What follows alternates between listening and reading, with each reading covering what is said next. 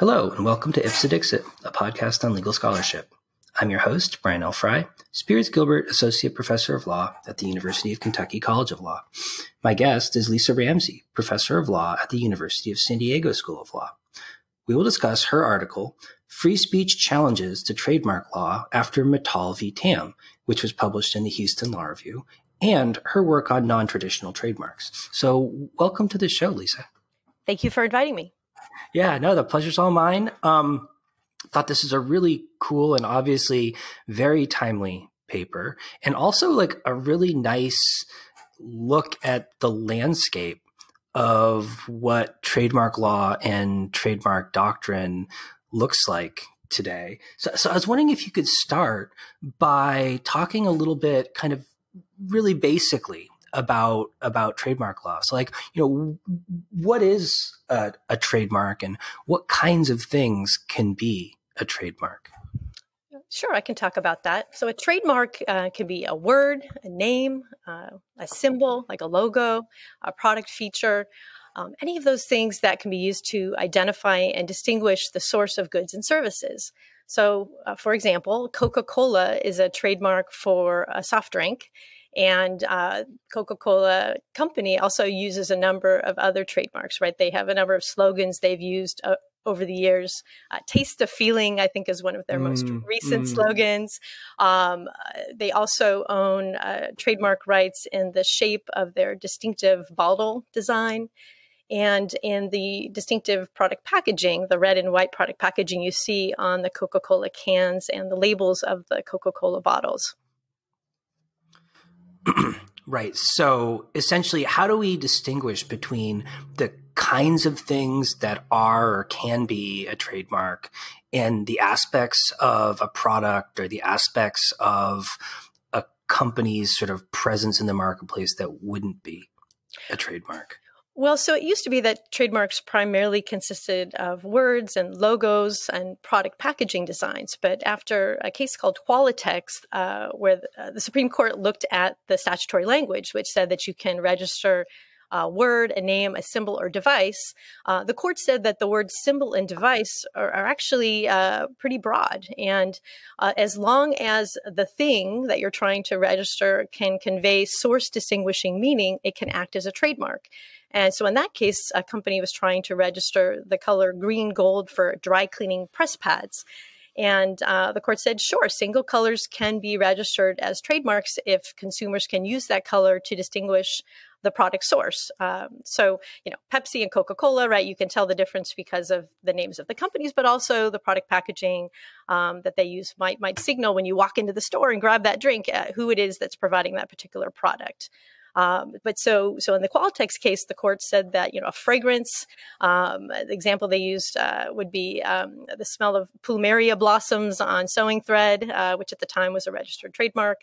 Um, and then also the sound, sounds can be registered. NBC's three chimes.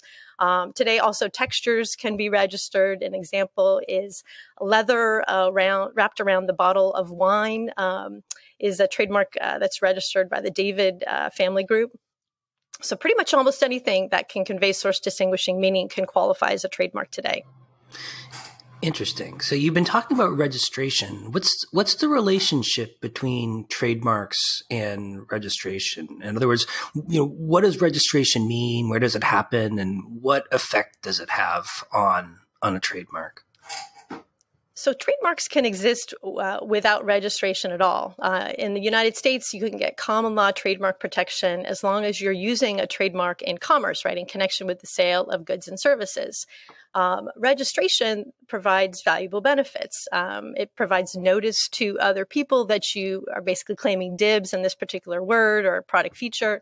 Um, but it also gives you a presumption uh, of validity uh, and of ownership in that particular trademark. And so um, it's one reason that trademark attorneys encourage clients to register their trademarks uh, because then you're letting the world know you own rights to it. And also, it makes it easier to get trademark rights in foreign countries if you have a registration in the United States. Mm. So your your paper on Matal v. Tam is sort of tracking a real shift in or like an important shift in the way we think about about registration. But but uh, what what did it used to be like? So sort of historically, how did the government, the trademark office, regulate the registration of of trademarks?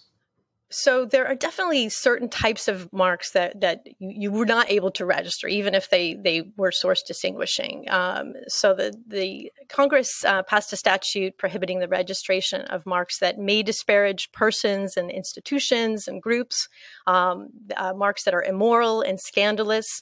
Um, so those are the provisions that have been issued. Uh, the TAM case dealt with the disparaging trademarks, and more recently, Brunetti dealt with the immoral and scandalous mark provision. Um, but there are also other uh, provisions uh, that have rules uh, regulating registration of trademarks. So, for example, you can't register a flag or a government symbol um, because of a, a, rule that we have in the Lanham Act, which is the federal trademark statute. Um, you can't register marks that are likely to cause confusion with previously registered marks. Um, you can't register generic terms, right? The word uh, computer uh, is generic for computers. Um, so you can register more distinctive terms like Apple for computers. Um, but you, but uh, if, and, and you can also register descriptive terms if they have become distinctive. Uh, so if people actually associate that word with your company, an example would be American Airlines. Um, so you know, so so what will happen is a lot of times people will be using a trademark and not get a registration. They can still sue somebody for infringement and even dilution of that trademark without a registration but they want to get that registration to get those presumptions of validity and ownership. Um, and sometimes, too, it can provide you with additional uh, benefits. You can, for example, block people from uh, importing products that have your registered trademark. Um, so, so this is why people apply to register these marks. Uh, but what was happening uh, in the Brunetti case and in the TAM case is that is that uh, people tried to register disparaging terms, profanity, and the PTO rejected those applications. So historically, what was the sort of conception as to why rejection of those kinds of registrations was um, was acceptable. In other words, you know, what was the sort of justification for these exclusions?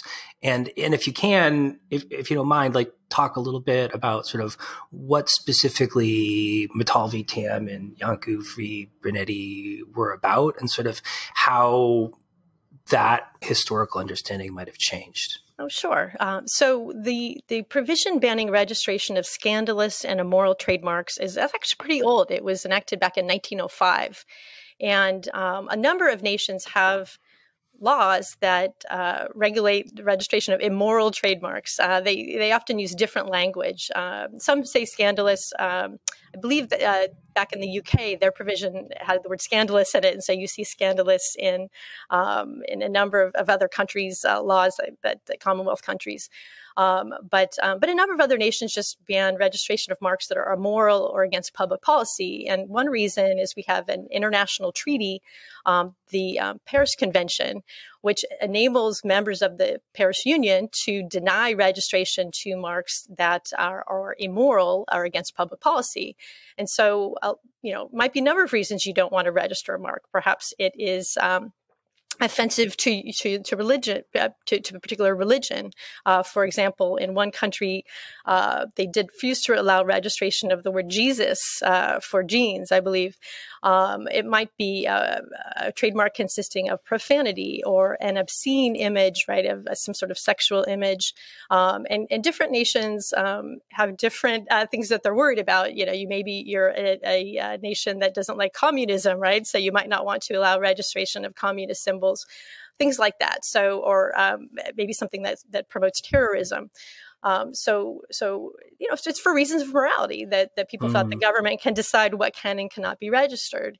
Um, the disparaging mark provision is a little bit more recent. Um, I think that was sometime maybe around 1946 uh, when the Lanham Act was enacted. Again, the federal trademark law and um, and basically it was banning registration of hate speech. And so in the Tam case, um, there was an Asian American rock band called the Slants, and Simon Tam, uh, one of the members of the band, applied to register the Slants as a mark uh, for the entertainment services of his rock band and that the group was trying to reclaim this term that had been used as a slur uh, against Asians or Asian Americans and um, and the mark was rejected uh, by the PTO, um, and it went up on appeal in in in the federal circuit.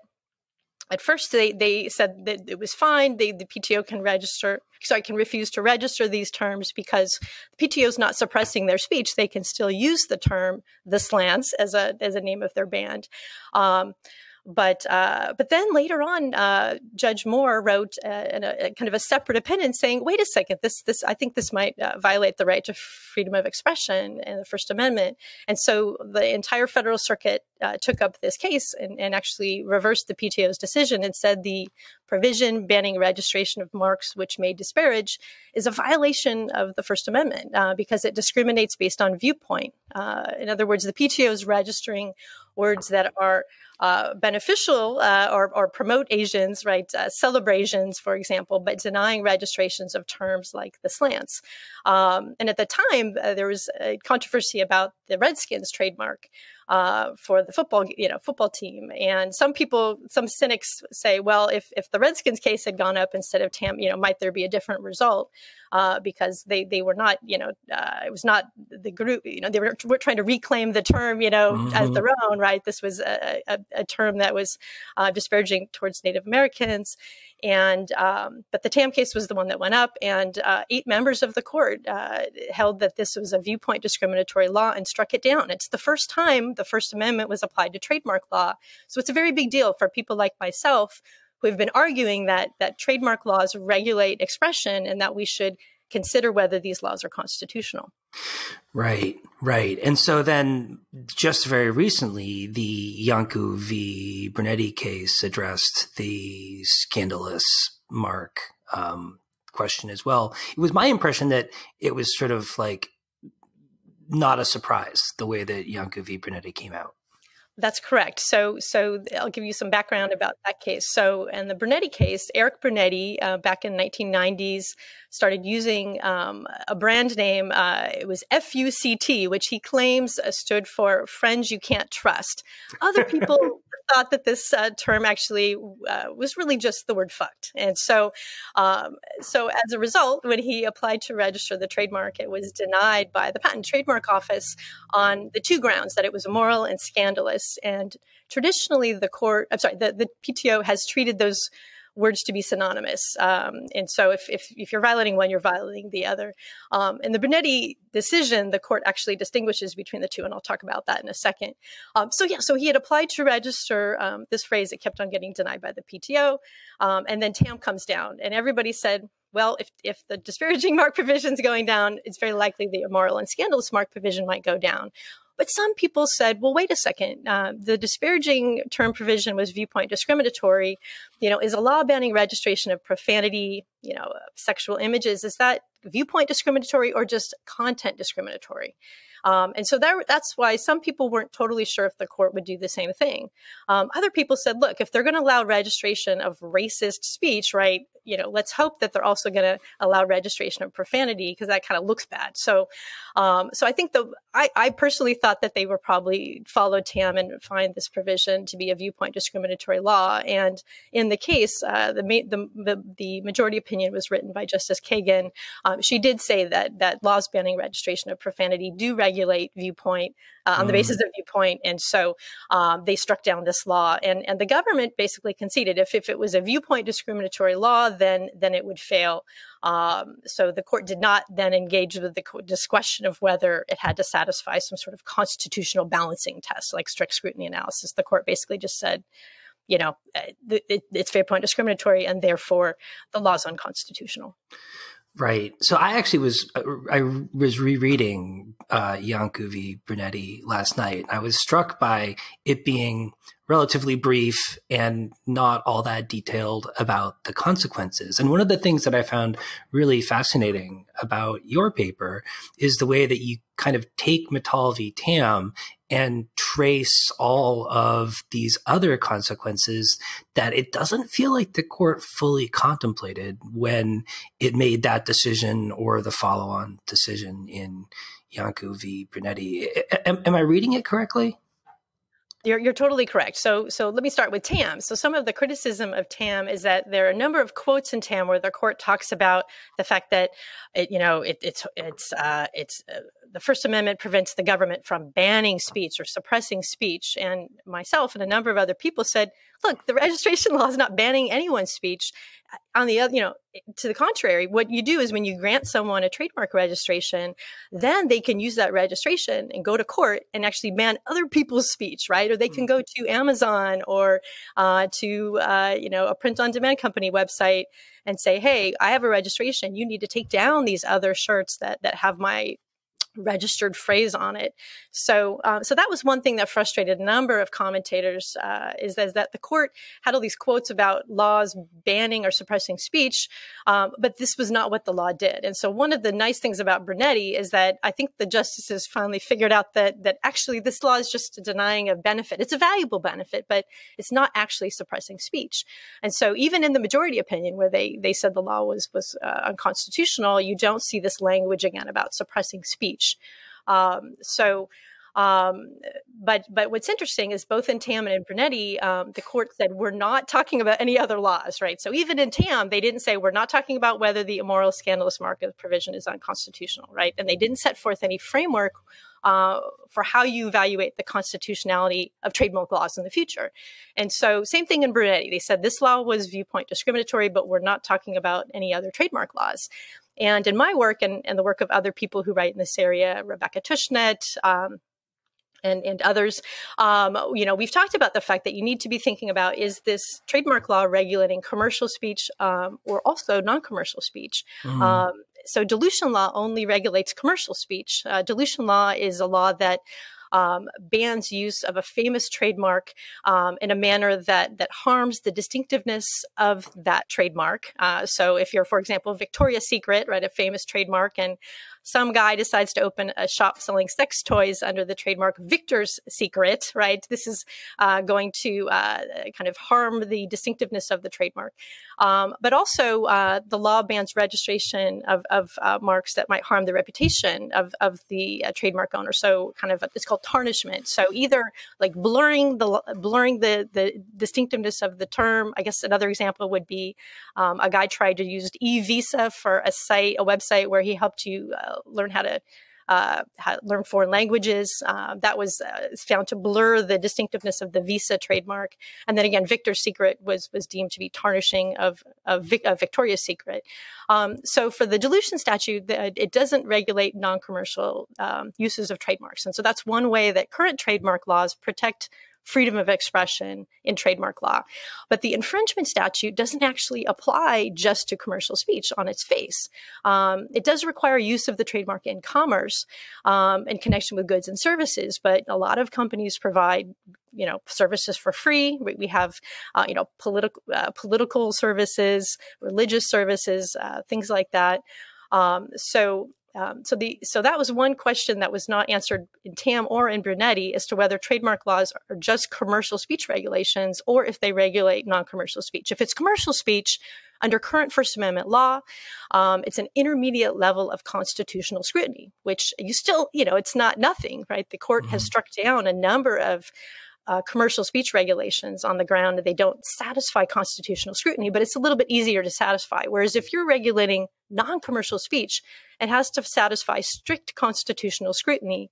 And, and that's often fatal, um, not always, but it usually is. And so, um, so the court decided we're not going to decide that issue. Um, and then the other issue is whether trademark laws are content based uh, regulations of speech, uh, viewpoint based discrim- uh, or discriminatory viewpoint discriminatory regulations of speech, or if they're content neutral regulations. And so, an example of a content neutral regulation would be a regulation of the time, place, or manner of expression. So, the sound levels of concerts, right, is an example of the manner. Um, place might be, you know, you can regulate speech in schools, but not, you know, on a you know, in a public park, for example. Um, and myself and others, Eugene Volokh, Mark Lemley, uh, have argued that trademark laws are definitely not content neutral regulations because you actually have to look at the content of the word, right, to decide if it's infringing or diluting. Um, and also, if you're deciding whether to register a trademark, right, uh, is it disparaging? Is it likely to cause confusion with another registration? Is it a flag, right? All of that's a content based determination. Um, and so, what the court said, obviously, for the scandalous and moral and disparaging mark provisions, it was not just content based, it was discriminating based on your ideas or your viewpoint. Um, so, but so that was another important distinction. Um, and one of the good things, I guess, from my perspective, is that nobody on the court said that these trademark laws are content neutral regulations of speech. So that means that that either Central Hudson's commercial speech test uh, for intermediate scrutiny, uh, uh, sorry, in, in, Central Hudson's intermediate scrutiny test applies, um, which says that you need to uh, uh, have the law directly and materially further a substantial government interest um, and uh, not harm speech more than necessary, right? Or if it's non commercial speech or if it's viewpoint discriminatory, perhaps you need strict scrutiny analysis, mm. which means you have to have a law that's narrowly tailored to further a compelling government interest and be the least restrictive means of, of, uh, of regulating expression. So, very hard to satisfy that test. Uh, so, that's kind of a long, a long answer to yeah. your question. But, but those are the First Amendment doctrines where it's, it's still not clear, uh, you know, if we apply one of those tests, or if we treat trademark laws um, like other uh, kinds of uh, regulations that are more similar, like. Um, um, the there's like a doctrine called the limited public forum, which I can talk about if you want, um, or uh, government subsidies, right? When we subsidize the art, where, where we do where we subsidize the arts, where we do allow some content discrimination, uh, but we don't allow viewpoint discrimination in those areas. Yeah, yeah. Well, Sonia, what, what didn't really strike me fully until I read your paper was just how profound a sort of sea change in thinking about First Amendment values in relation to trademark registration, Matal v. Tam, and by extension, Iancu v. Brunetti would be in the sense that it seems like previously registration was effectively a sort of ministerial act on the part of the government making decisions essentially about government speech. And now the court has said, no, that registration decision is actually itself a speech regulation and that that First Amendment application seems like, in a sense, like it like cascades all the way through trademark law. That's correct. Uh, so a number of us, uh, you know, Rebecca Tushnet, uh, myself, uh, some trademark attorneys have have said, well, most most trademark laws are going to be constitutional after Tam and Brunetti, right? So laws that prohibit registration of marks that are likely to cause confusion with other marks, that's fine, right? Because the government can regulate misleading commercial speech, it can ban fraudulent speech. Um, so, so anything that kind of is focused on confusion, right? Falsely suggesting a connection to other people, for example, or um, deceptively uh, misdescriptive words or deceptive words, all of those things still constitutional um, after the Tam case. Uh, the more interesting question is, well, what do we do about these other provisions that um, that don't regulate confusing uses of trademarks, but are we still we want to uh, refused to register these other kinds of marks for a number of reasons. And so I've argued that uh, one of the reasons that uh, one of the things we should be paying attention to is the fact that the trademark law wants to promote competition, right? Prevent unfair competition. So we have provisions like the ban on registration of merely descriptive words or of functional product features. Um, both of those regulations um, are pro competitive. And so if you subjected them to intermediate scrutiny analysis, um, they would survive constitutional scrutiny analysis because the government interest, right, is in furthering uh, competition. And a law that bans registration of descriptive matter or of functional product attributes um, is going to directly and materially promote those interests and does not harm expression more than necessary because the whole point of the law is to allow other competitors to use these descriptive terms and these product features. So that law would survive constitutional scrutiny. Um, what I've argued, though, is is that we also need to be thinking about whether registering trademarks is constitutional, right? Because when you allow registration of a descriptive term that has acquired distinctiveness or, or, acquired what's called secondary meaning, meaning that people associate that term with your company. Once we allow that registration, um, you can stop other people from using that phrase in connection with those goods and services but also um, you can stop use of terms that are similar to your phrase and if your mark becomes famous can stop other people mm. from using that phrase in connection with other goods and services So a concern that I have is once you get that registration, um, you can actually ban speech. So one example would be a romance author um, was using the word cocky in the title of her of her um, novels, right? So she was writing about cocky a cocky senator, and it was called cocky senator or cocky firefighter, right? And at some point applied to register the phrase cocky for a series of romance novels and actually got that registration. Um, people have criticized that as being a descriptive term for romance novels that, that talk about cocky men, right? But what happened was she got this registration and then she sent a letter to other authors and said that your book, which has the word cocky in the title, um, is, is infringing my registered trademark. Um, and then also sent a complaint to Amazon and said, Amazon, you need to take down these listings for books that have the word cocky in the title. So Amazon took them down, right? So we have private censorship here. Um, that's not a First Amendment violation, right? It's, there's no government action there. Um, but still, that's bad for, for freedom of expression. Um, and then a number of authors um, actually changed the titles of their novels once they looked up her registration and saw that that it was valid. So um, Amazon ultimately put put those books back, and uh, I know some other folks have, have challenged the registration of the term cocky. Um, I, am not aware of, of, whether they were successful, but this is one of the problems with re- allowing registration of descriptive terms that that you know someone at the uh, trademark office has determined now have secondary meaning is because uh, you can use that registration as a weapon to stop other people from speaking. Mm-hmm. So I wonder if you could talk a little bit specifically about the differences between uh, what a plaintiff, a trademark plaintiff, have to, has to prove in order to show infringement versus what they have to prove in order to show dilution. Because for me, that was a helpful illustration of why dilution kind of presents First Amendment free speech problems that maybe infringement doesn't present, or at least presents a lot less frequently.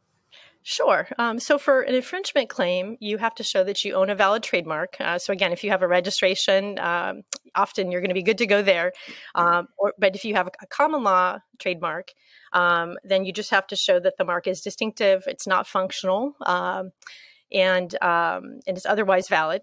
and so uh, so that's the first element. Uh, next, you have to show that the use of this mark is likely to cause confusion. Um, and um, when I teach uh, trademark law to my students, I actually sometimes will include additional elements because I say sometimes you might be representing the defendant and you want to hammer on one of these other requirements. So, um, so the basic one would be you have to show you have a valid mark and there's a likelihood of confusion. But other elements that you see sometimes for infringement would be commercial use of the trademark being required in some jurisdictions. For example, the Ninth Circuit the Bosley medical case said that even though the word commercial use does not appear in the statute, the First Amendment requires us to interpret the statute in a speech protective manner. And so we, when we see the phrase use of the mark in connection with goods and services, we're going to say that that means commercial use of the trademark. Um, some scholars have argued that uh, a, a, trademark use of the trademark is required for liability. In other words, you're using the trademark as a brand name or or some other kind of source identifying trademark um, in your slogan or in your domain name. Other scholars disagree about this, uh, whether there's a requirement. Uh, Thomas McCarthy, uh, who, who, writes the one of the, the top treatises in this area, says that that whether it's a use as a trademark is just part of the likelihood of confusion analysis. But um, you know, still, it's it's something you want to consider, but it's not necessarily a, requirement. Um, so, um, and obviously, you need to be using the trademark in connection with goods and services. So, uh, you know, you might have a case where someone is just uh, protesting a company, you know, with a sign out in front of their headquarters, right? They're not selling anything, they're not advertising anything. So, um, so that's probably uh, not going to be causing confusion, but also not used in connection with goods and services. But um, so that would be the infringement cause of action. For dilution, you don't have to show that the use is likely to cause confusion. You don't have to show your competitors. Um, or you don't have to show any actual injury. Um, for infringement, if you if you don't have a registered mark, you do have to show that the use is likely to cause some sort of damage to the to the person claiming trademark rights. Uh, for the dilution claim, um, you just have to show you're likely to dilute um, the trademark either by blurring right we talked about that before mm-hmm. that's where you, you kind of harm the uniqueness of the mark or by tarnishment and there's a multi-factor test for blurring as to whether the um, the uh, trademark um, used by the defendant is blurring the uh, the famous trademark. Um, so for fame, for example, you have to show that the mark, um, you know, it has been used for a pretty long time. You might look length of use, um, how much advertising you've done, you know, whether it's registered, you know, you might have a survey showing how many people have used it. But as long as you have a famous mark, you can sue for dilution. So that's one one way it's kind of speech protective, the law, because it requires you to have a very, very strong mark. But it's less speech protective because it doesn't require the plaintiff to show the use is likely to cause confusion. Mm. Um, but what the legislators did was instead they enacted defenses that uh, what they claim, you know, we're protecting free speech. So non-commercial use of a trademark is not uh, is not uh, dilution under the law. Uh, use of the mark in news reporting, news commentary is also not dilution, and a descriptive uh, fair use or nominative fair use is also not dilution. So some people might say, look, free speech is protected enough in the dilution law because of this. But the problem is if you're using someone else's trademark in parody or satire and you're using it as a trademark, um, you're not going to be able to take advantage of these defenses. So an example is Chewy Vuitton, which was a parody of Louis Vuitton. It was Chewy Vuitton for dog toys. Um, and they were actually using that as a trademark. So they, they couldn't have a defense in that circumstance. Mm.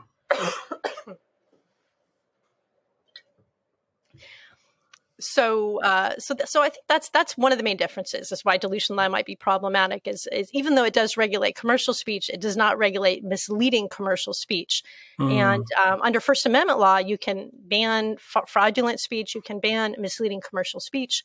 Um, but here it's not misleading, so the Central Hudson Intermediate Scrutiny Test applies in that circumstance. And uh, critics of the dilution statute have said we don't think this would satisfy intermediate level scrutiny. And we actually think that this law is viewpoint discriminatory as well. So mm-hmm. let me know mm-hmm. if you want me to talk about that a little bit more. Yeah, yeah. Well, I mean, so I, I thought this was what was interesting to me was like the way in which you sort of highlight the the way in which dilution, the the dilution cause of action seems to go in a much more direct way to the meaning of the mark itself like the kind of expressive meaning of the mark and not just its meaning in in sort of communicating source information to consumers. And, and i thought your discussion of inherently valuable expression in relation it was helpful for me in understanding sort of how this same sort of concern about social meaning and expressive meaning would play out across the the sort of trademark spectrum thank you well so, so uh, as you mentioned in the paper, I talk about uh, what's called inv- inherently valuable expression, right? Uh, words or symbols that had meaning before they were claimed as trademarks. Uh, so that would include descriptive terms, but also uh, culturally significant phrases. Um, like the name, uh, you know, Dia de los Muertos, you know, Day of the Dead. Disney applied to register that as a trademark. Um, it would include profanity, right? That that has meaning before someone claims to use it as a trademark. Um, and, and, and then popular slogans or phrases, right? Uh, all these all these uh, words, these rallying cries that people tried to register. You know, Black Lives Matter, Me Too, all those things could be um, are all inherently valuable expression. And so, what happens with the dilution statute is that um, when you have uh, this famous trademark, um, you can prevent other uses of that word that are inconsistent with your message. And there was some language in Tam talking about the fact that that that this law discriminated based on viewpoint because um, the government has to look at what the word means and then check if this particular trademark is inconsistent with what the government thinks is, is appropriate. And so in, in dilution law, um, if you have Victoria's Secret, and you're using the term Victoria's Secret in a manner consistent with that source identifying message, right? You're making fun of Victoria's Secret. You're using it to identify Victoria's Secret. Um, as the target of your joke, or if you're using Victoria's Secret in comparative advertising, then then that's not actionable dilution. But if you're using, you know, Victor's secret, right, to identify the name of your own business, and people aren't confused, no one thinks that there's any connection, um, right? But but once you you see Victor's secret, then maybe next time you see the word Victoria's Secret, you think about Victor's secret, right? This is kind of the blurring harm. Um, and also the tarnishing harm, right? That, that you, maybe you then associate the sex toys with with Victoria's Secret, even though of course they're also selling sex, but in a different way.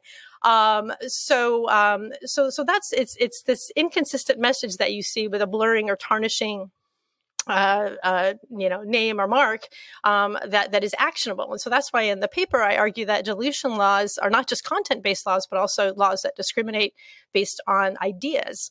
Um, you know, viewpoint maybe people could quibble about whether Victor's Secret conveys some sort of a viewpoint or these other kinds of phrases, right? Enjoy cocaine written in Coca Cola mm-hmm. script, right? Is that is that a viewpoint?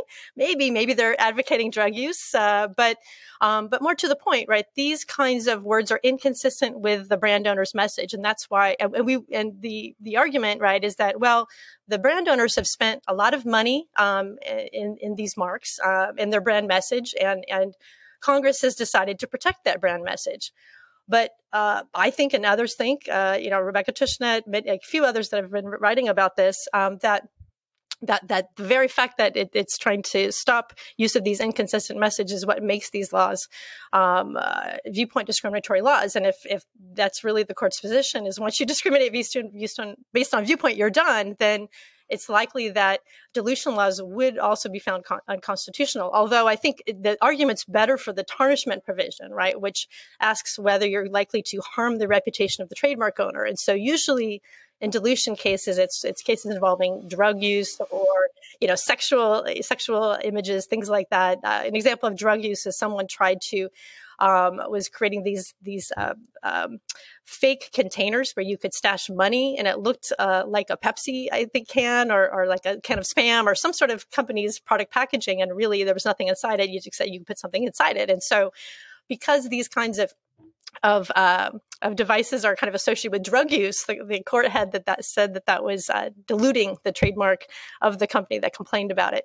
Um, so that's kind of what I tell my students is that is that the tarnishment provision regulates sex, drugs, and rock and roll, but maybe not the not the rock and roll part. But um, so I think that it's more likely that that tarnishment uh, will go down. Um, I think blurring would also go down uh, if somebody if the court looked at it, but um, but who knows? We'll see. There, there might be a difference here, right? Because of the fact that um, you know, some some cynics say that the court wants to protect, you know, the trademark owners, uh, right? But they're not going to protect the little guy who's trying to defend itself in a tarnishment or dilution, you know, or uh, dilution claim. But I, I disagree. I, I would hope the court would be consistent if this this issue did come up to them.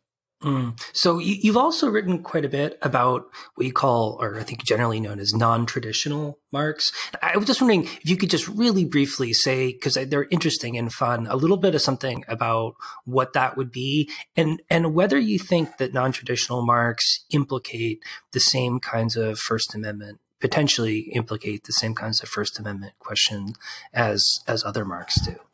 Sure. So, non traditional marks would include uh, basically um, things other than just words, names, and product packaging. So, it would include sounds. Uh, an example of a recent registration would be uh, Zippo uh, lighters, the sound that they make when you open, ignite, and close them. That is now registered as a trademark.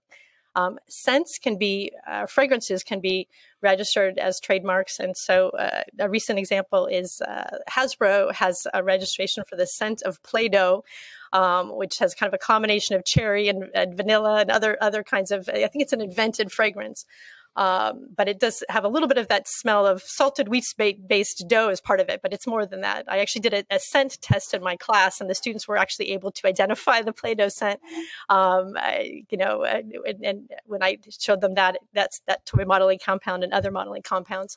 Um, so it is distinctive. Uh, whether it's functioning as a trademark, you know, we can talk about that later. Um, textures can be protected as trademarks. So uh, a, the leather wrapping around the bottles is an example. I think a velvet texture for liquor has also been protected. Um, moving images, uh, Disney is claiming rights, I think, to the the um, the image of Mickey Mouse on, on, Steamboat Willie in the Steamboat Willie film, uh, just some kind of a short version of the Steamboat Willie film.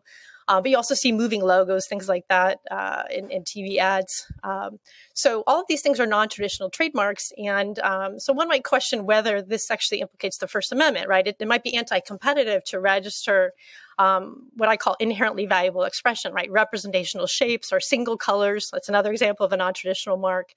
Um, but I, what I argued in a recent paper is that this does implicate the First Amendment for two reasons. Number one, um, if we're protecting a trademark, right, we're arguing that at that point that it actually has a source distinguishing meaning. Um, so right there, if you're banning someone's use of it, right, that's regulating expression. Um, but what I also argue is that a lot of times these product attributes might also have a non-source identifying message, right? So green might be associated with being environmentally friendly. Um, so Debbie Meyer green bags, right?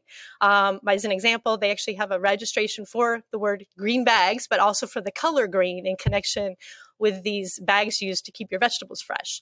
Um, another example I use is a skull design. Uh, Dan Aykroyd, the actor, and his buddy uh, sell uh, designed this bottle in the shape of a skull that's similar to the crystal skulls in that movie Indiana Jones and the Crystal Kingdom of the Crystal Skull. Um, and uh, these were based on skulls found in the Yucatan. Um, and they actually sell vodka, Crystal Head vodka, in this skull shaped bottle. And I found this great quote from Dan Aykroyd saying that a lot of times people buy this product for the, the, the bottle, but we want them to crack the skull open, right? um, and so in my article, I talk about the fact that you know skulls are often associated with Halloween, Day of the Dead, um, and and uh, have this in, you know inherent meaning that in a sense right uh, anyone who tries to claim trademark rights in it would be free riding on that inherent meaning that message right? Whether it's deemed to be ornamental right or decorative meaning or maybe informational meaning right? The green conveying an environmentally friendly message. Um, when you apply to register a trademark it might be rejected on the ground that it's merely informational matter or merely ornamental matter um, but the, there are definitely a number of marks that were still registered. And um, when uh, they are trying to stop others from using these product attributes, I argue that this could violate the free speech right. So uh, in the case of the Crystal Head vodka skull shaped bottle, right, uh, they actually um, asked a UK couple who was selling bloody hell hot sauce in a skull shaped bottle to stop using that skull sh shape for their bottle. Um, and they argued that it was violating their trademark rights. Now, they also own a copyright and a design patent in that skull shape. At some point, the copyright will expire. The patent will expire, but trademark rights can last forever. And so a number of scholars uh, uh, have argued that perhaps we shouldn't be granting trademark protection uh, to things that were formerly or currently protected by copyright law, right? Mickey Mouse Steamboat Willie might be an example of that. Um, but uh, one of the things I've argued, right, is again, if if it's one thing if you created it yourself, the value yourself, but again, if you're kind of free riding on something that's created before by another artist, um, you know, something that comes from nature, like a lion's roar, right? MGM owns rights to the lion's roar for its entertainment services.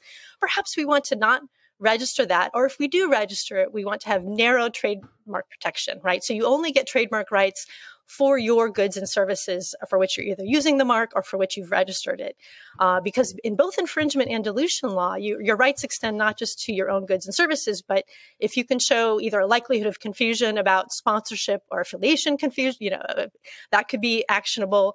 And then in dilution law, just that it's likely to harm the reputation or the distinctiveness of your mark, um, you could you could prevail. So, so that's one of the takeaways I have here is that if it's inherently valuable, we don't um, allow you to have rights at all, or if we do give you rights, it should be very narrow. Mm-hmm. So, so Lisa, in in closing, it, it, I can't sh- sh- kind of help shake the feeling that it seems like maybe the court, the Supreme Court, didn't fully appreciate the can of worms that it was opening up when it conceptualized trademark registration and trademark law more generally uh, directly in relation to the First Amendment in Matal v. v. Tam. Um, and I wonder to what extent do you think it's going to sort of let those potential consequences kind of play out to their end game? Or do you think there's a possibility it might kind of lose its nerve, as it were, and try to weasel out of some of these consequences? That's an interesting question, right? So, um, you know, I, I, would hope that they would apply First Amendment scrutiny to these trademark laws just like they did to the registration provisions we've been talking about. Um, in the copyright law area, the court did say, uh, with regard to enforcement of copyright, that copyright laws are not immune from the First Amendment scrutiny, but they're not subject to heightened scrutiny, even though they do regulate speech based on its content. So that's one question: is will the court decide that trademark laws are this different type of category of speech um, where we just have a different rule for them, right? We don't try to fit it into one of these other boxes that it's a limited public forum, right, or government subsidy, or you know, is it commercial speech or non-commercial speech, and therefore traditional tests apply. Um, so I think there's a possibility, and I think this op- opens up an opportunity for for commentators, right, to come up with a test they could adopt if they decide not to apply traditional First Amendment scrutiny. Um, what I think is important about uh, First Amendment analysis is it really forces us to think about why are we regulating trademarks and is this law actually furthering that goal, right? So um, we have to identify what's the government interest, right? Is it compelling? Is it substantial, right? Is this law directly furthering that government interest? Just because trademarks, for example, promote competition generally doesn't mean that this particular trademark law does that. Um, and if, if we require these laws to be narrowly tailored, right, if we require them not to harm expression too much, um, I think overall the goals of trademark law will be furthered, um, and hopefully, you know, the public and co- competition will be better off. Great. Well, thank you so much for coming on the program, Lisa. It's been a real pleasure talking to you, and I learned a ton about trademark law today. Well, thank you for having me.